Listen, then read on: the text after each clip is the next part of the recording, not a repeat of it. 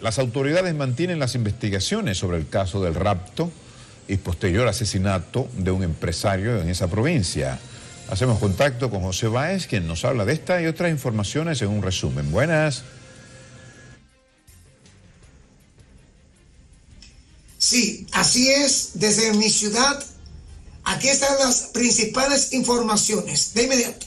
Las autoridades de investigación de la Dirección Renal Este de la Policía continúan profundizando el hallazgo del cuerpo del empresario Richard Bolívar Santana Santos, el cual fue encontrado sepultado en una finca del kilómetro 40 de Villa Altagracia. Según informaciones, el empresario fue raptado el 10 de diciembre de un parador cámaras de seguridad pudieron captar el momento cuando miembros uniformados lo sacaron del vehículo y que por ende lo llevaron a un lugar desconocido.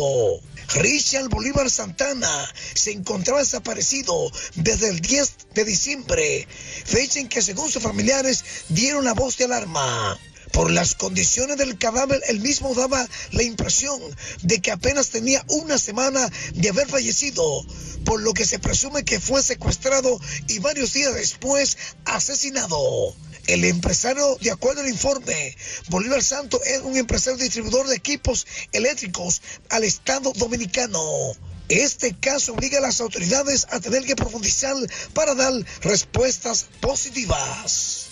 Otra de las informaciones reportadas en esta ciudad, y es que una joven de nacionalidad venezolana se lanzó del cuarto piso de su residencia, ubicada en el populoso sector de Villaverde. La joven fue asistida por el sistema de emergencia 911 y trasladada al hospital Aristifio Cabral y posteriormente referida al hospital Antonio Musa.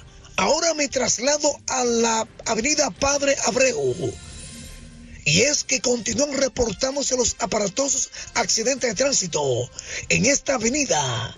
Tal como lo ocurrido en la tarde de hoy, dos personas que se desplazaban en su motocicleta y que fueron impactados por otro vehículo.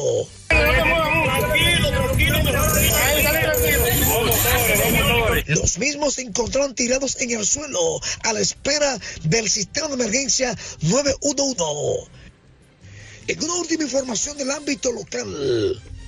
Y es que este camión fue captado por este corresponsal. Momento cuando se desplazaba en la avenida Profesor Juan Bosch. Sin la debida precaución y la lona de que cubran el contenido que llevaba.